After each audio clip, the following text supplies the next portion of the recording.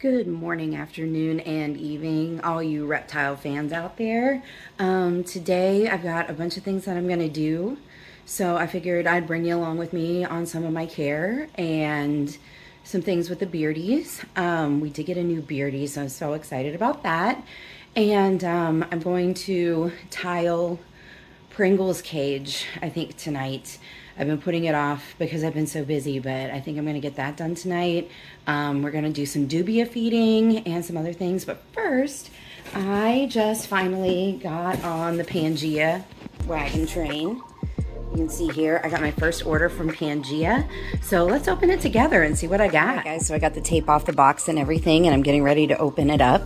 Um, I also want to let you guys know that we are not endorsed any way by Pangea, but I have used their crested gecko food for a long time. So um, I really like the fig and insect food because it's got the insect part of it and um, a few of mine aren't very good at insect eating. So it looks like we've got some little pods for the isopods here. They love to eat these and they're great for their enclosures. So we got a whole pack of little, I think these are magnolia pods, but I'm not 100% sure if that's correct. But I know that they really like them. So that's exciting for the ISOs. Ooh, I got new crested gecko feeding dish for my adult cresties, which is awesome because I've got two cresties in the tank now. We have Latte and Mochaccino. Mochaccino got a girlfriend, so this will be really nice. I like these rubber, rubber dishes. They're easy to clean, and these ledges are really easy for them to eat out of. So this is great because I have the small ones for the babies, but I don't have an adult one yet, so they'll really like that. I got a second dish that way I can clean one and have one in the tank. So always be prepared. We've got one of those. We've got a different type of pod for the isopod tanks. These are really great. I tend to break them up and use them in multiple tanks. So one of these tanks will do a few of my culture, or one of these tanks, one of these pods will do a few of my cultures, which is awesome. I decided to try one new food today. We've got the gecko diet with insects. So we're going to give that one a shot, but I got a smaller bag just in case I have some picky cresties. I know that latte can be a little picky. Um, I know she really likes the fig, but I'm going to give this one a shot too and see if she likes it just for some variety. And then I've got the big bag of the fig and insects that I know that all of my babies will eat and is very healthy and nutritionally complete for them. So that's awesome. Pangea is fantastic. Um, if you don't order Pangea or have trouble finding it, the other one that I really like is the Zoo Med brand because they also put insects in. But Repashy, however, does not. Um, so I stay away from that, even though I typically like Repashy diets for things. Um, for my crested geckos, I stick with the Pangea or the Zoo Med because they do have the added insect meal in there. We also have a succulent garden for one of the tanks. And this is another succulent garden, so give me a minute and we will check those out. Okay, so the reason I got these succulent gardens is honestly because Kirk had ordered them in to sell at Standout. And I just absolutely love them. They are so cute and they're relatively inexpensive. I believe they're $12 a piece. And I mean, that's a heavy resin rock and it makes a perfect accent to any kind of desert. I got this one too. I love this one too. To any desert tank without like breaking the budget. I mean, I always like to give a shout out to the products that I know and love and use for my animals because they're great products. So, yeah, those are pretty cool. The other thing we have is we do have two new Dubia.com enclosures one in here and one in the reptile room. Um, the hubby, Mr. A Lotl Love, did put these together. You can see my awesome Minnie Mouse pants and Disney Crocs in the background. Um, but yeah, we did get these. There's definitely been some upgrades since we got our last ones. These doors are now glass, which is really cool because before these were like um, acrylic or I can't think of the word, but they were like a plastic glass. And so these are now glass glass. The other thing that we noticed about these is the bottom is a much heavier material. It used to be the bottom and the back were made the same thickness and now the bottoms are thicker so they hold better which is pretty exciting these slide really well on the tracks they're still the other enclosures we have from them are still great quality they've definitely done some upgrades that i really like and i mean honestly for a budget enclosure Dubia.com's enclosures are by far my favorite. Hey friends, so today I actually just got off work. Um, but today I do have a bunch of Isopod orders to go out that have been purchased on eBay. And then we do have a new Isopod um, site on Etsy that is just for isopods. It's called a lot of isos, a lotl isos. So if you guys check that out, you can buy our isopods there. Some of you have been gracious enough to purchase some from us. And if you haven't purchased some from us, please um, feel free to do so. And then also, if you guys could, I would really appreciate if you could smash that like and subscribe button. Um, it would help out our channel more than you know, and we definitely appreciate you guys continue viewing. So today I'm gonna pack some isopods and I'm to start out with, I have these containers. What I do with the containers, and I already did this pre-video, is I went ahead and I punched holes in these. Um, I do use like a wood burning tool to do that. And then I also put holes in the sides of the containers. So I'm to show you guys how I do this. I've got my moss, I've got my water, I've got the fish flakes that they need to ship in, and I'm to pack some isopods with you guys. So here's my bin of dairy cows.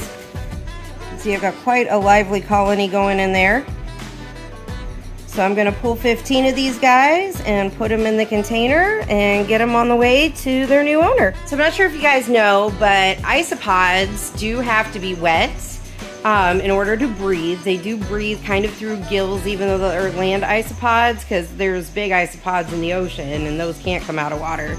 So I start out by spraying the container just a little bit of water in the bottom to make sure that that bottom moss that they are being shipped in gets moist because um, you don't want your isopods to dry out. That's bad.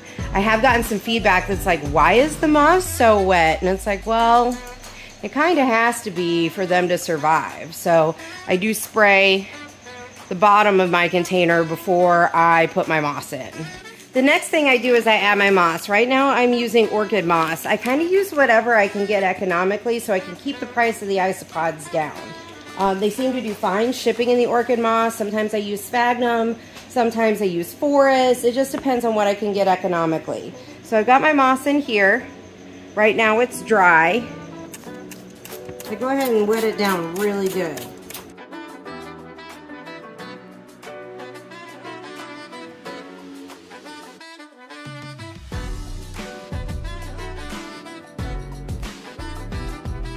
I am going to add fish flakes.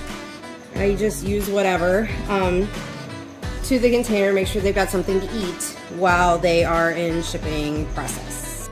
Okay, so now I've added my fish flakes to the top. I'm gonna put the lid on part way to make sure they don't get out. I'm gonna pull my bin and I'm gonna pull my ISOs. So after I get them all packed up, then I box them up. I print out a shipping label. I throw my business card and some other goodies in and we ship them off. But that part's really boring, so I didn't film that. But it does take a decent amount of time, but I really enjoy it. I really enjoy my isopods, and I want you guys to enjoy your isopods too.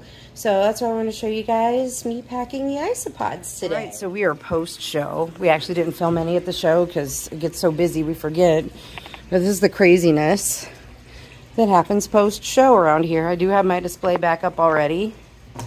We got some Dagoos that came back with us from Sin City. Look at how cute they are. We love us some Dagoos. And then we got the big fat bun. And I think the quote of the day is, you have a boa in a suitcase? Because, you know, reptile things.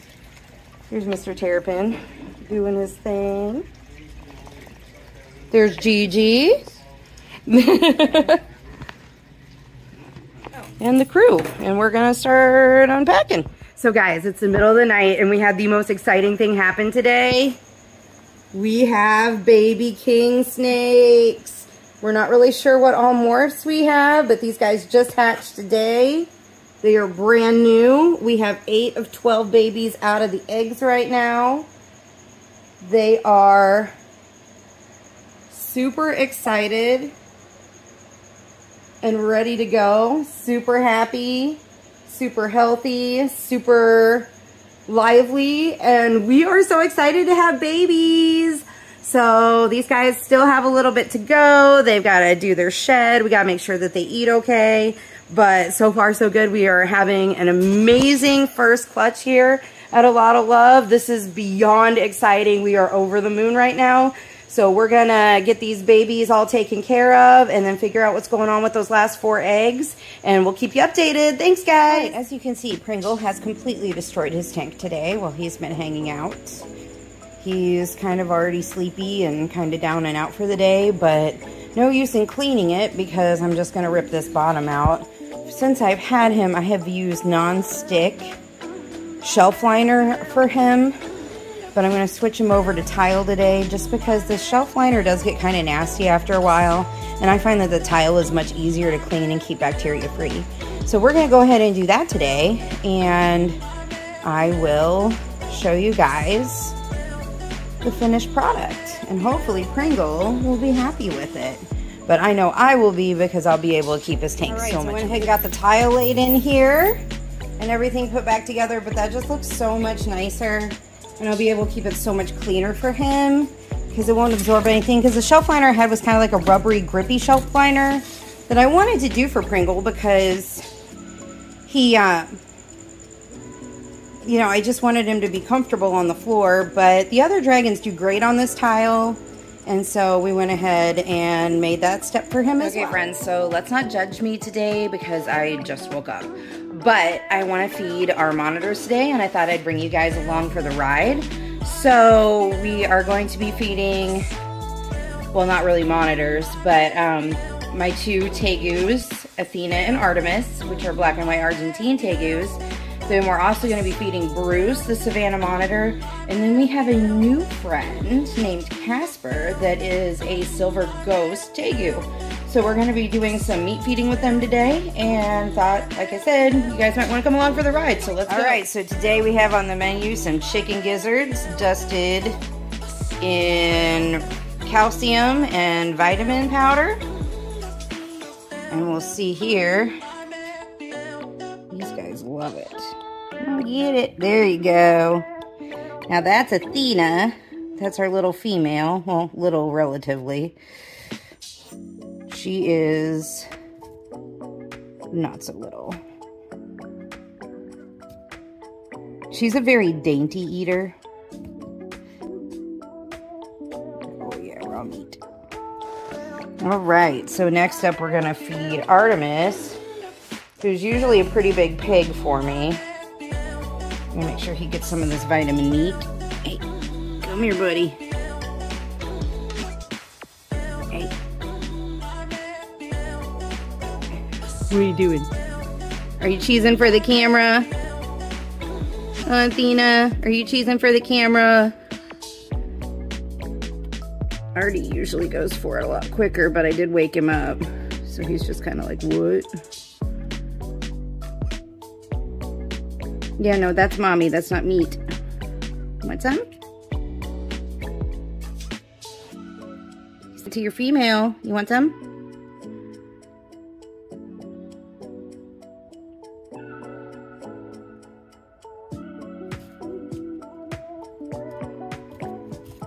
I'm gonna give it to your woman. She's like, heck yeah. You not hungry today? Usually you're all over the chicken gizzards.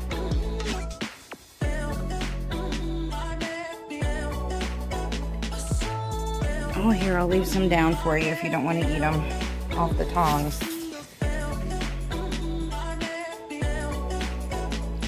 Sometimes he gets kind of weird about eating off the tongs. We gotta clean them up. Obviously, they destroyed some eggs in here the other day. Oh, I can't even see them because of the reflection. There he is. Just hanging out. So we'll go ahead and feed Bruce and come right back. Right now, we are actually in process of building Bruce a brand new custom tank.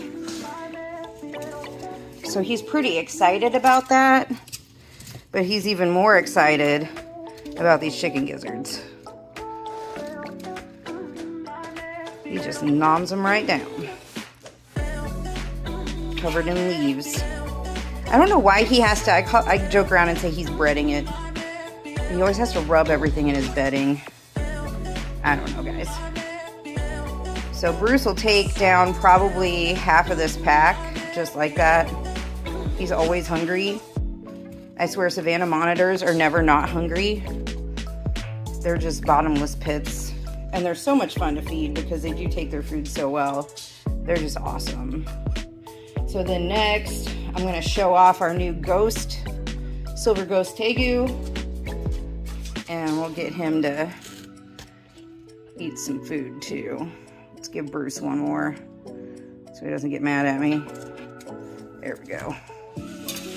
So we're gonna see, we have never fed Casper, our new Tegu chicken gizzards before, so let's see if he likes them together. Okay, so this is Casper, our little ghost, silver ghost Tegu. Let's see if he's interested in this. I know it might be a little big for him, but he's definitely interested. He's checking it out. He is so sweet. He is the sweetest Tegu I think I've ever seen. There's some of this away for him so he can work on that. And it looks like he's starting to shed a little bit on his face. You see a little nose flap coming up on him. And he'll probably grow pretty fast because he's just a juvenile. But we're pretty fond of him. And he is super, super sweet. We haven't had any issues with him personality-wise. I know Tegus go through that, like, terrible teenage stage. But he seems to be uh, super friendly, always wanting to snuggle. You get a little tegu. I might have to cut that up into a smaller piece for him. We'll see what he does with it. See if he figures it out. If not, I will cut it up for him. I just wanted to show him off because he is so, so pretty. And unfortunately, as you guys can see, Mav has vacated the building.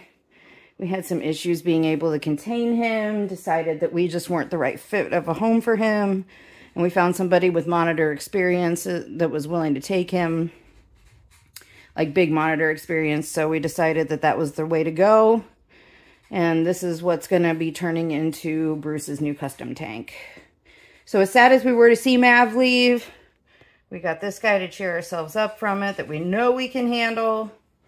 And we've also got our big Tegus. And then, you know, Bruce will be getting bigger too. So we'll still have some sizable lizards it's just something more that we can handle a little bit better because unfortunately for us, Mav was just, we didn't think he would be, but we wanted to be able to give him the best life possible and it got to a point where I just didn't think we were going to be able to do that. So he's at a good home. Life is good. And we're just going to let him munch. Playing the game is Kirk gonna bleed? Apparently not, and I am sad now. Did we get the water dragon out yet? We still have, we still have a chance. Oh. Rachel hauled him every day she was here that week, and he bit her in the face the last time she hauled him. I have a scar on my finger that's the exact size and shape of his mouth. oh, Kirk's gonna bleed.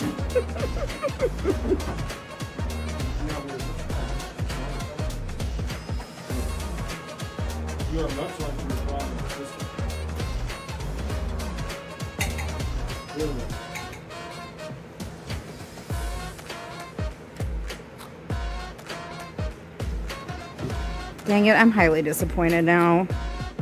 One thing I really like to do with Bonnie is she loves to be hand-fed greens. So we sit and we do this every night, and this is kind of our bonding time. And she's turned in, she was a little sassy in her teenage stage, but she's coming out of that now. Obviously, she's not full grown yet. But we hang out and we hand feed greens every night together. And like I said, it just gives us a nice little time to bond. And she's definitely gotten a lot sweeter since we started doing that. But for some reason, this gal is always hungry. But she's just a regular um, hypotrans. Needs a nail trim and she is just a happy gal. All right, so this is Panko 2.0, the breaded dragon, the revenge of the breaded dragon. And she's a big fan of the, what I call alien stage, mealworm larva. Holy crap. She like attacks them before I can even drop them in front of her.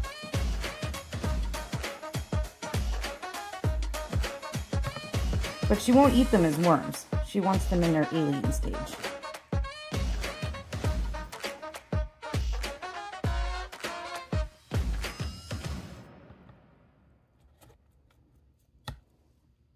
She's such a cutie pie. I'm just absolutely in love with her. Pretty sure it's a female. Not 100% sure because of the size. But uh, we're going to have to get her a really good male. She is Red Monster. And Red Monster and Sass. That is our newest girl here at A Lotl Love.